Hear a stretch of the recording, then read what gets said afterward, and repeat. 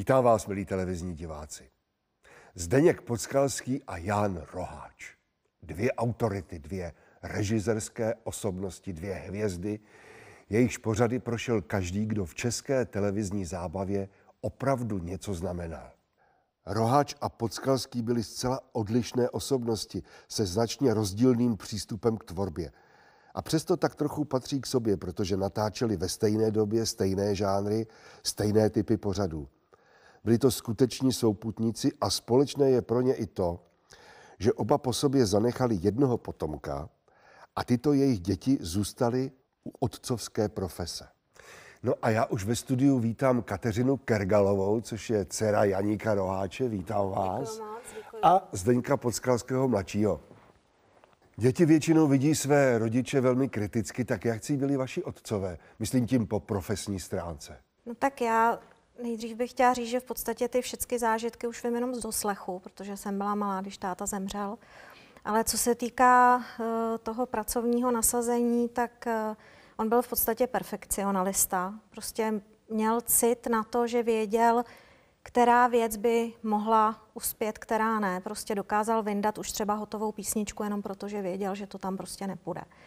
A měl tu autoritu a to si myslím, že ty kolegové si hodně vážili. No. Měl takový prostě dar toho citu pro to, aby to prostě ten divák jako vzal co nejlíp.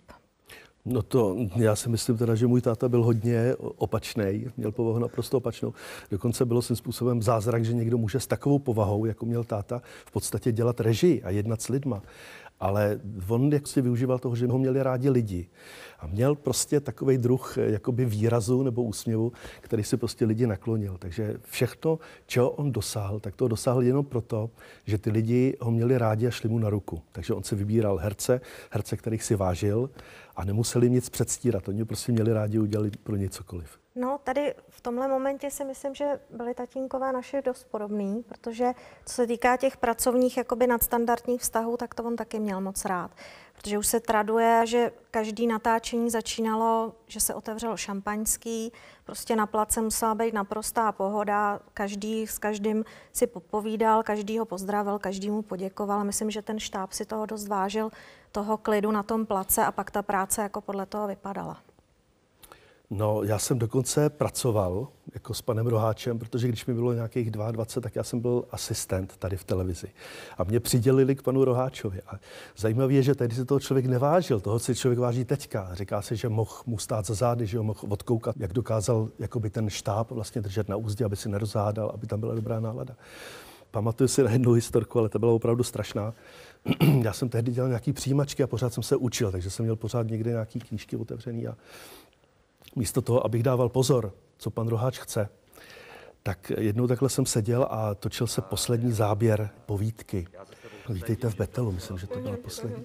A už byla noc, všichni byli strašně unavení a v jednu chvíli v polovině toho záběru pan Roháč zařval stop. Všichni koukali, co se děje a on přešel celou tu scénu. A u stolku, který hrál, který byl v záběru, kde seděli herci kolem něj, tam byl ty moje skripta otevřený, tak on je vzal takhle do dvou prstů a šel přes celý ten plac, ale šel strašně pomalu, strašně pomalu a položil je přede mě ty skripta. No, styděl jsem se hrozně, jenže potom byl konec natáčení a pan Roháč obešel celý štáb, všem dal ruku, všem poděkoval osobně, každý dostal dárek. A mě taky samozřejmě, ale ne ironicky. On na to prostě už zapomněl, on byl takový grant, takový grof.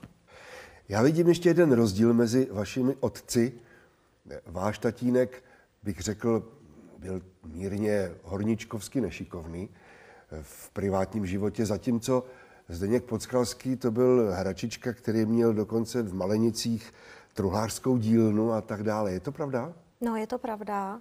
Eh, tak jako on vynikal v těch technických věcech, co se týká těch triků v písničkách a tak, ale co se týká jako doma abych to řekla jednoduše, neuměl snad ani vyměnit žárovku, neuměl prostě zapnout pračku, na to se všechno volali lidi, to absolutně šlo mimo něj. Ale jako co se týká potom těch technických věcí televizních, tak to si myslím, že na to, jaký byly tenkrát možnosti, měl úžasný nápady. No a to, tohle mě právě to mě fascinovalo, protože já jsem eh, je samozřejmě porovnával, i pana Roháče, otce a viděl jsem ten rozdíl, to bylo do očí bíjící, že vlastně ten pan Roháč si pořád hraje s tou elektronikou, hraje si se složitýma věcma ve střižnách, že zkoumal ty možnosti obrazu a střihu a mě bylo divný, že ten táta, který k tomu má vztah a byl by schopen těm věcem rozumět, že to vlastně nedělá. Ale uh, ono to zřejmě vyplynulo z toho, že ta kulisa té jeho práce byl většinou ten přelom století, že šantán, kabaret a tanečnice, tak on to zřejmě jakoby nepotřeboval. Nicméně já jsem to byl strašně záviděl, že, že pan Roháč uměl s těma věcma dělat. Ona je ještě jedna zajímavá věc, že přestože tatínek jakoby ty technické věci nerealizoval při tom natáčení, tak on si to všechno bral domů. A on, on prostě trávil spoustu času v dílně. On říkal, moje prokletí je, že každý člověk, každý autor ráno vstane a začne psát a já vezmu šrubovák a jdu do dílny. A e, nicméně to byla jeho vášeň, on měl tyhle ty e, manuální věci strašně rád. Já si pamatuju jako dítě, když mi bylo nějakých pět let, tak jsem v Malenicích na poličce objevil krabičku a tam bylo napsáno plačící stroj a on tam nějak nebyl, já jsem se neměl možnost zeptat a přemýšlel jsem, co to je plačící stroj. Pak až po mnoha letech, už když jsem byl dospělý, tak jsem viděl ztracenou reví. A tam je klaun a tomu v tu chvíli vystříknou slzy jako z ostřikovače v autě. Tak to jsem pochopil, co to je ten plačící stroj. Blízkými spolupracovníky obou režisérů byli mý další hosté, dramaturg a scénárista Gustav Oplustil, ahoj. Ano, a tehdy střihač, a dnes taky režisér, Pavel Vantuch. Pánové, řekněte mě, co tihleti dva režiséři Podskalský a Roháč měli společného? No tak společného měli to, že oba dva dělali vysoce kvalitní zábavu. To za prvé. Za druhé, že dokázali vytvořit vždycky vynikající atmosféru, takže prostě všichni přistupovali k tomu bez nějakých obav, že by říkali něco z cesty. To oni včas uměli na to upozornit a to velmi delikátně. Třeba Zdeněk řekl, uh, moment, stop, uh, tam s tím světlem něco, spravte to tam, jo? A šel bokem a vysvětlil tomu herci nebo herečce, co tam udělala špatně. Tak už je to v pořádku, můžeme to zopakovat, jo?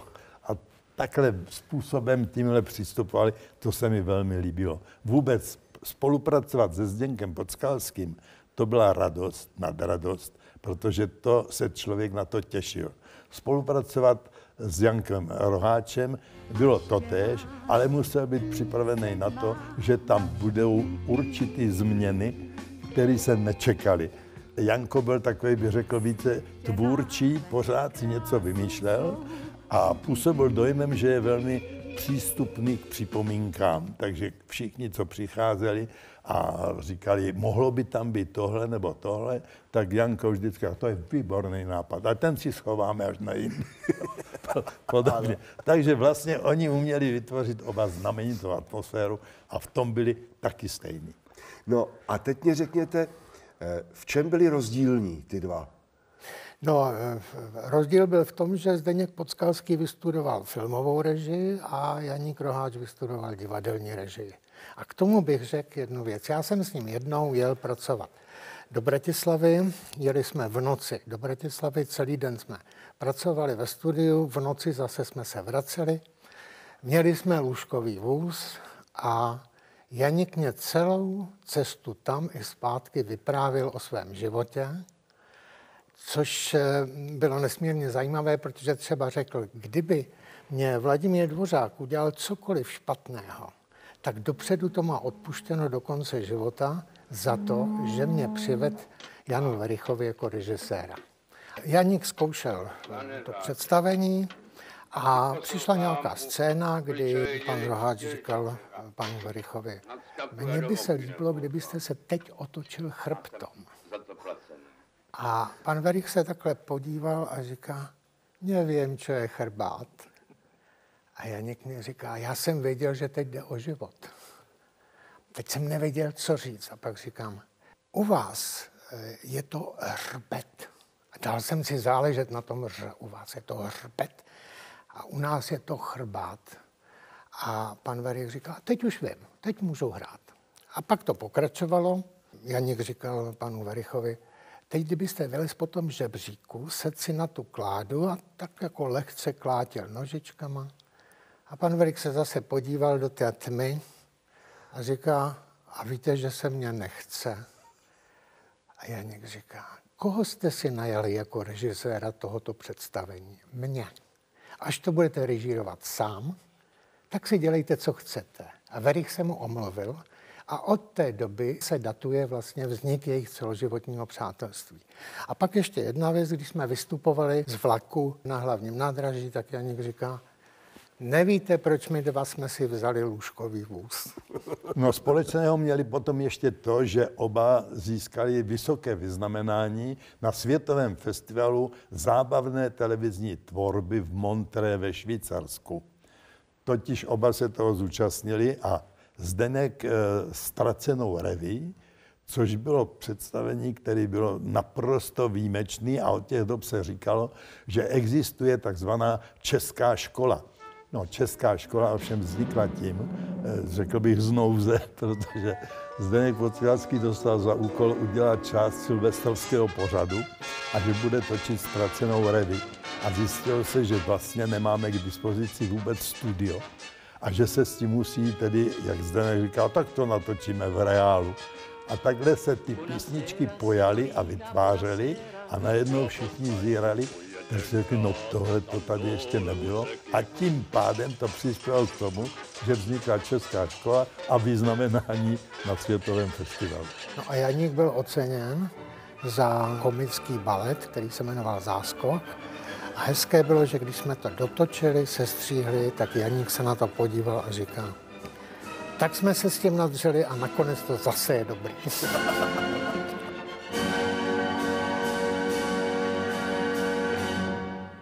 Podskalský měl vynikající nápady. E, točil například na Barandově nějaký film, nastala taková pauza, byla postavená dekorace a Zdeněk přišel s tím, e, že by se to dalo využít a mohli bychom tam něco natočit. No ale co? Říká, no udělejme takovou věc, že uděláme takový první CK muzikál. Vememe takové ty písničky ze starých šantánů a všechno a vememe si třeba od Šamberka Blázinec v prvním poschodí, prošpikujeme to těma písničkama a vznikne první CK muzikál. To udělal a byl kus silvestrovského programu hotov. A bylo to pro televizi zadarmo, protože nemuseli platit dekoraci ani nájem, prostě nic, všechno bylo postaveno, no zaplatili herce.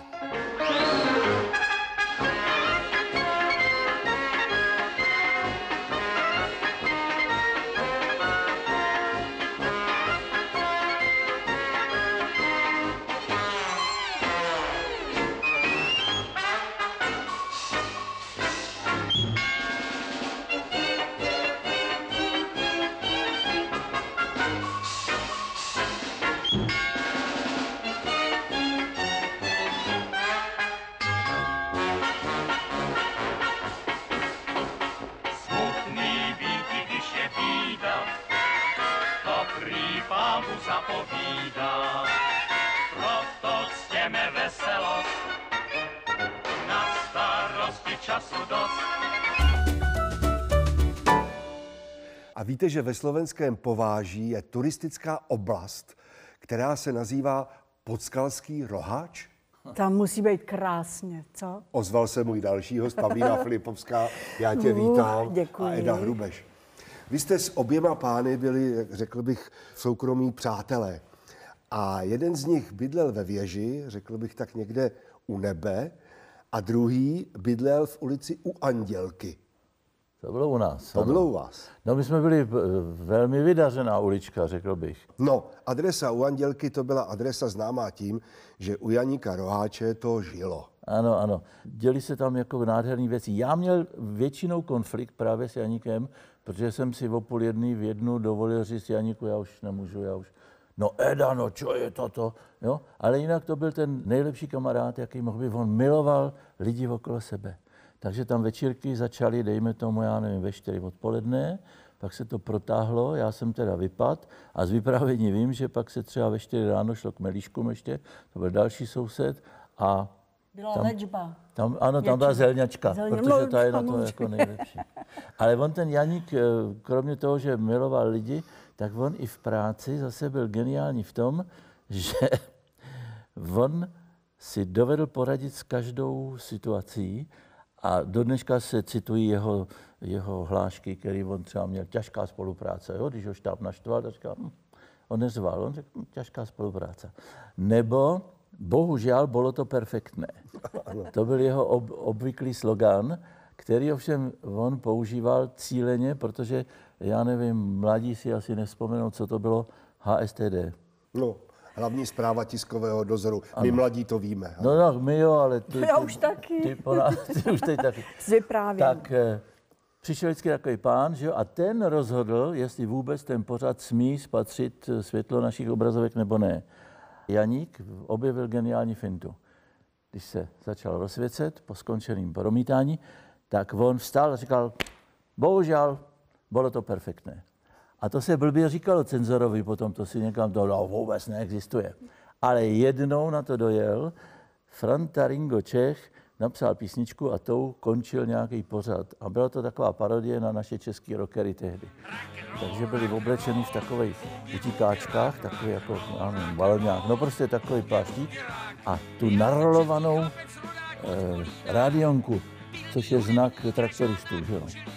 A když to skončilo, tak eh, roháč nestačil říct, bohužel bylo to perfektné a cenzor vstal a konec. A furt nemohli pochopit, co se mu na tom nelíbilo, když to bylo tak lidový, že jo, český, ta rádionka tam.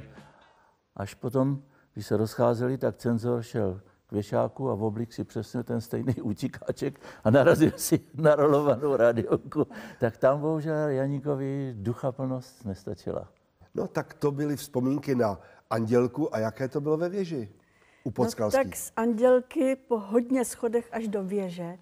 Já jsem díky spolupráci s panem režisérem Podskalským získala nejen úžasného režiséra, rádce, moudrýho. Tatínka. Vlastně, ano, to je pravda, protože on byl tak laskavý, až otcovsky, moudrej, ale byla s ním velikánská legrace. On zval některý z vyvolených, eh, kteří mu jaksi byli v tu, tu chvíli milejší než ti ostatní a tak vybíral si velice, tak pozval do věže. Byly to vždycky krásné chvíle, které jsem tam strávila. A jednou jsem taky byla pozvána, tak jsem přišla a najednou jsem se zarazila. Bylo to nějak po Vánocích a pan režisér Podskalský měl na té hlavní stěně, takhle nad kanapátkem, vysela fotografie, ale s velice přísnou, ale velmi přísnou, nádhernou Jiřinkou Jiráskovou. A ta Jiřa tak pozas kanapátka koukala. Tak to mě zarazilo. Říkala, no, Pavluš, vidíte to? Tak to ta mrcha veškrnová mi dala k Vánocu. a trvala na tom, že Jiřinka tam bude mít takovýhle výsadní eh, pověšení. Jiřina Jirásková jednou říkala Podskalskému, ty Zdeňku, víš, že ty mě někdy štveš. Ty máš permanentně dobrou náladu. A ten Zdeněk říkal, no Jiřinko, teď já ráno vstanu, jdu do koupelny, otočím kohoutek a ona teče voda. Já jdu, otočím vypínačem a rozsvítí se světlo. No není to nádhera? Jan Roháč měl docela široký rozptyl ve své práci. Jeden čas se docela intenzivně věnoval práci v divadle Semafor. A o tom by nám jistě mohl něco říct můj další host, pan Jiří Suchý. Co bych mohl o něm říct? Jedině samý dobrý věci. I když to začalo vlastně trochu nešťastně, my jsme se původně nepohodli. Jan Roháč režíroval v Semaforu a my jsme si v tomhle tom nerozuměli. On byl muž efektů, tam byl lesklý saka, hodně lidí, světla, všechno bylo tak eh, takový jako eh, na efekt a já to neměl moc rád. Já jsem to měl radši, když to bylo chudobný takový a tak, tak jsme se pořád jako uh, hádali a nakonec to dopadlo tak, že on odešel od nás, přišel do jiné skupiny k uh, Šimkovi a Grossmanovi. Takže měl právo na nás zanevřít. Já jsem se potom dověděl, že v době, kdy jsem měl ty zákazy všechny možné, že on na všech možných místech za mě bojoval. A bylo to prostě velmi noblesní. Třeba už to, on chodil na všechny naše premiéry, a Mohl samozřejmě po premiéře se vy, vy, vypařit a prostě nevzej, nevejít v kontakt s námi. On pokaždý přišel, zaklepal, třeba zaklepal, otevřel dveře a řekl, bylo to bohužel dobré. A zavřel Zajímavá věc, v době mých eh, totálních zákazů v televizi eh, došlo k takovému omylu, že vzešel eh, jakýsi příkaz do televize, který oni si špatně vysvětlili, jako udělejte něco s tím suchým, jako zameďte s tím. A oni mysleli udělat jako nějaký pořad. A tak já jsem začal točit jednu věc za druhou, e, pionýrskou vlašťovku, armádní film, no prostě takovýhle. To všechno přišlo pryč, samozřejmě to nikdy nevysílali, ale přece jenom zbyla jedna věc a to bylo naše vystoupení s Jitkou Moravcovou v silvestrovském pořadu. A to točil Jan Roháč. Eh, říkali jsme tomu Showful Show a to byla vlastně poslední tečka za naší spolupráci s Promiňte, Roháčem. náš mechanik je absenter, fluktuant, maroder a idiot. Zdeněk Podskalský miloval žánr kabaretu a šantánu. A k dobrému kabaretu samozřejmě patří dobrý konferenciér. A Podskalský si převážně vybíral jako konferenciéra do svých pořadů mého dalšího hosta, kterým je Karel Štědrý. Ahoj, Karel, já tě vítám. Tak, a co ty řekneš o Podskalský? No. no, eh, pan režisér Zdeněk Podskalský, nebo jak jsme mu říkali, Podskaláček, no tak ten kolem sebe šířil dobrou náladu, dobrou pohodu, kdy taky dělal kabaret u dobré pohody. No tak to nemohl režírovat někdo, kdo by křičel ve studiu a kdo by se rozčiloval. To jsem ho nikdy neslyšel. A vždycky se smál každému forku, každému špílci, který se udal při tom natáčení. A já ti musím říct, že to byla oáza být s tímto člověkem ve studiu, když kolem bylo tolik eh, zloby a, a, a cenzury a tak a najednou jsme přišli a ten Zdenek se usmíval a miloval staré písničky a zúročil tu lásku k těm starým písničkám, zúročil v seriálu písničky z babičiny krabičky. A potom ještě bejvávalo. Máš pravdu. Když vojáci do vesnice přišli poprvé, zarděli se všechny panny do krve. Tak jako květ vlčích máku jedna zaplála, za zelenou rozmarínou tvář svou skrývala. No a já jsem teď rád, že mohu přivítat ve studiu dalšího milého hosta, dirigenta Václava Hybše. Ahoj Vašku, já tě vítám. Ahoj. Prosím tě, máš ty nějakou milou vzpomínku na Janíka Roháče? Mám několik, to, to samozřejmě jsme dělali spolu taky. Jednak jsme dělali televizního miláčka, to byl muzikál takový, a pak několik pořadů, ale dokonce mám taky jednu vzpomínku, kdy eh, to se jako zdánlivě jeho netýkalo. Potkali jsme se někde a on mě řekl, že viděl ten pořad, který jsem točil s Bonaventurou o Hašlerovi, Hybšraj Hašlera. A že to teda, a tam mě trošičku jako řekl, že takhle se Hašler nehraje, že to bylo tak trošičku jako zjazzovaný, že teda Hašler je dýchouka. Já jsem ho vyposlech, pak jsem mu říkal, pane režisére, mýlíte se. Hašler eh, je, eh, kdyby ta muzika měla opravdu být typická k tomu Hašlerovi, tak by to měl být takový šaraml, kytara, harmonika, housle a nikoli dechovka. Já bych vám, pane režisére, doporučil, abyste točil pouze němé filmy. Ty hudbě vůbec nerozumíte, ale přitom jsme se měli velice rádi. Byl to odborník. A kolik on natočil hudebních pořadů a televizních jo. písniček. Jestli si se, Vašku, nemýlil ty? Ne, já jsem ho chtěl jenom naštvat. Vašku, tenhle pořad je věnován dvěma velikánům televizní zábavy. Janíku Roháčovi a Zdeňku Podskalskýmu. A ty jsi se Zdeňkem Podskalským taky samozřejmě mnohokrát spolupracoval. Byl to skvělý člověk. Máš na něj nějakou hezkou vzpomínku? No, samozřejmě těch vzpomínek mám mnoho. Ale jednu takovou, která mě zůstala v hlavě, když přijel ke mně domů, já jsem bydlel na Petřinách tenkrát, tak on přijel, měl sába, takového červeného sába. Ne, on měl fialovýho sába, právě si pamatuju. No já jsem barvoslepý. Jo, tak, tak proto, no jo. Podle tebe Ještě, fialové, že dobře slyšíš. Pro mě, ne, co říkal, ale tenkrát přijel červeným sábem. Jo. Přijel a přišel dovnitř a pak říkal, je, já jsem si zabouchnul v autě klíče. Já nevím, jak se to mohlo stát. No, zabouchnul a nemohl se do toho dostat tak jsme si eh, sedli doma ještě na kafíčko a on byl takový mm, prostě živel, ale rozuměl muzice, byl vzdělaný v muzice. Než přišel zámečník, tak jsme seděli a vymýšleli jsme, padaly tam všelijaký hovadiny, ale úžasný.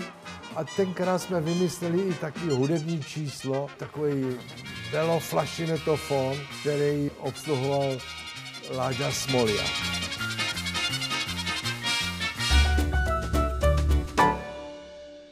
Janík Roháč měl obrovský čich na jevištní tvary. On uměl udělat takovou krásnou inscenaci semaforskou s Jiřím Suchým nebo posléze s Miroslavem Šimkem a Grossmanem. Uměl udělat komorní show s Mirkem Horníčkem, ale také uměl udělat velkolepou show s Karlem Gotem. No a já jsem moc rád, že Karel Gott přijal moje pozvání, je tady, já tě vítám, Karle. Ahoj.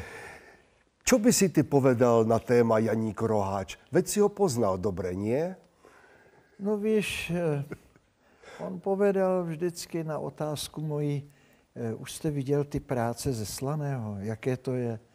A on říká, Kája, větě, konkurencia má smůl, jsme opět nejlepší. Ano, ano.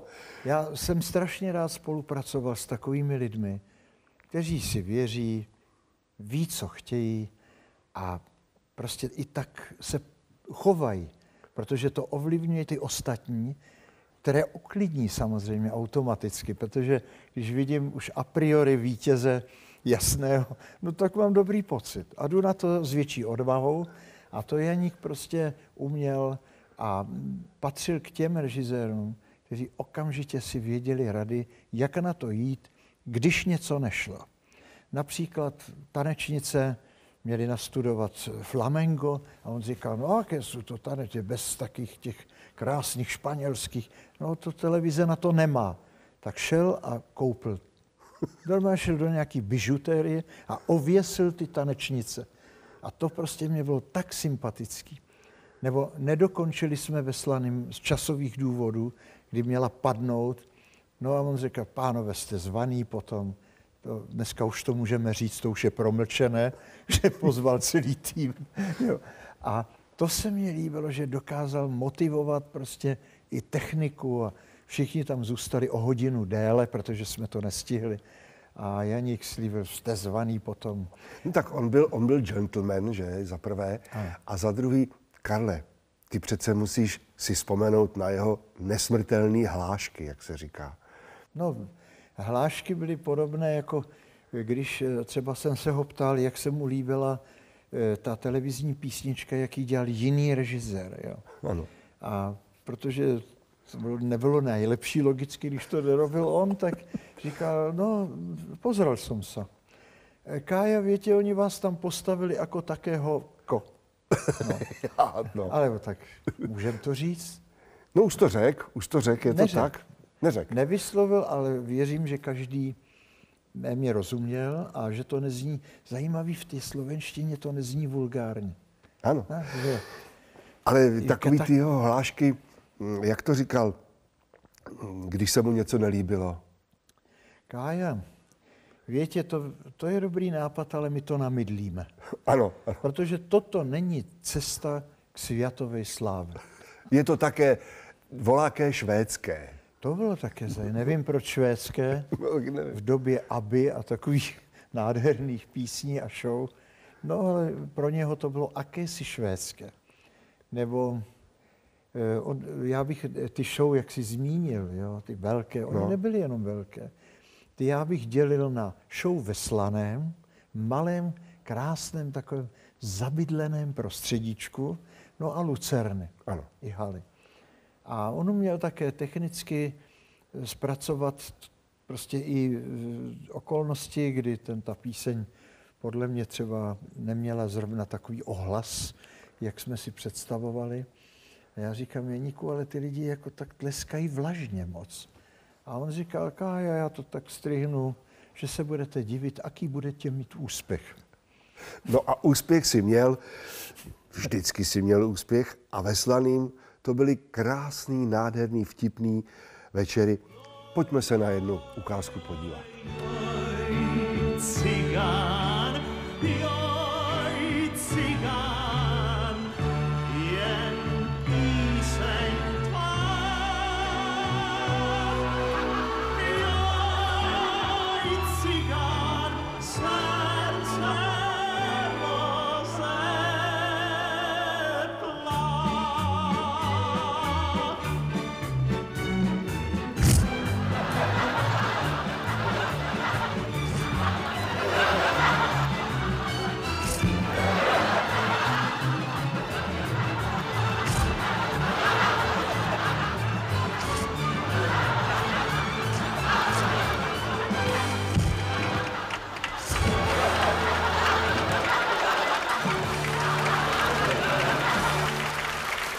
každý asi měl i Janík eh, takové nejenom hlášky, ale takový tyk, že prostě pořád, jako někdo říká vole v každé větě, tak on říkal čiže a jak už prostě ty muzikanti seděli a pořád čekali, že jo, když se začne hrát, tak Rudolf Rocker si na pianě dělal poznámky, kolikrát za tu zkoušku řekl čiže. No ale ještě si vzpomínám na jednu věc. No. Podle mého názoru je člověk s invencí, režisér nebo prostě člověk, který vystupuje, chce bavit publikum, pracuje tak, jak on sám žije. Když to není suchár, není to nudný člověk, je to člověk, jako byl Janík Roháč, který nejenom, že pracoval skutečně a málo spal, rád se napil, nebylo to na něm vidět, byl vtipný, eh, cigareta pořád u úst a když už všechno končilo, tak on ještě se svojí mladou manželkou poslední tančil čardáš na parketě, všichni byli doma. Jo. A proto si myslím, že to v něm pořád bylo. On to nenechal usnout. Byl to bonviván, byl to labužník. Vždycky, když mu maminka z Priečopy poslala husacie jatěrka v té zavařenině, tak už tam měl jenom takový zbyteček, protože mu to snědli všichni předtím. Říkal, Kája, oni nevědí, co je dobrého. Víte, my si teraz urobíme to blátičko a to je nejlepší.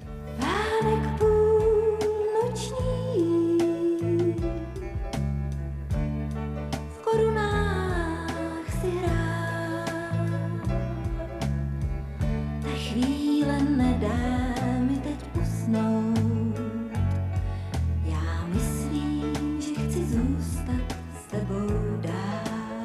No ale vy byste úplně zapomněli na to, že oba pánové dělali Silvestry.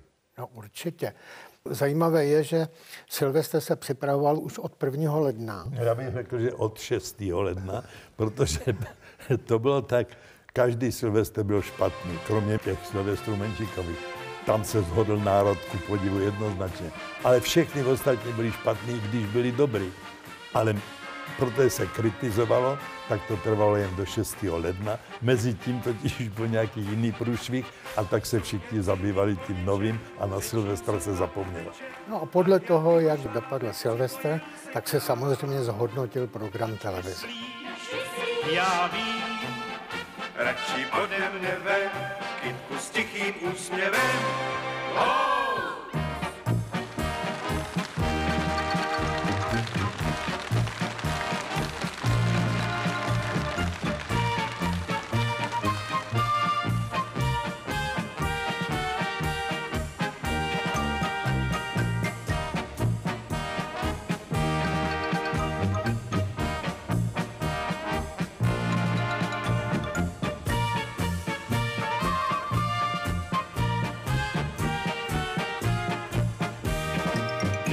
Ještě jeden rozdíl mezi Zdeňkem a Janíkem byl. Janík se na obrazovce vlastně neobjevil. Je velice těžké najít nějaký kousíček filmu, kde by se myhnul. Zatímco Zdeněk velice rád přijímal i malé roličky. Potřeboval jsem psychiatra, takového toho laskavého psychiatra, a tak jsem mu požádal, jestli by to udělal. On říkal, strašně rád. Já říkám, ale eh, problém je v tom, já nemám text. Já si ho vymyslím. No a takhle to dopadlo. To máte po každé zpěvačce? Ne, jenom pojdu k tomu lapcovi. Tak cyklická deprese to nebude, uklidněte se. Máte vzácený druh zjednodušeného myšlení, které vychází pouze z afektu a nikoli z rozumové úvahy, že svého oblíbeného zpěváka si můžete poslechnout i na deskách suprafu. Když já nemám gramofon. A máte hudební sluch? Zaspívejte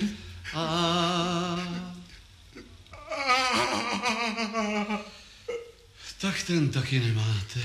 A já si vzpomínám na poslední roli Zdenka Podskalského, která byla v, v komedii, kterou jsme dělali, vlastně to byl cyklus s Jitkou Němcovou, úctivá poklona pane Kohn, kde dostal roli pána Boha. A tam sedí na mláčku, usmívá se a tím se vlastně s náma rozloučil.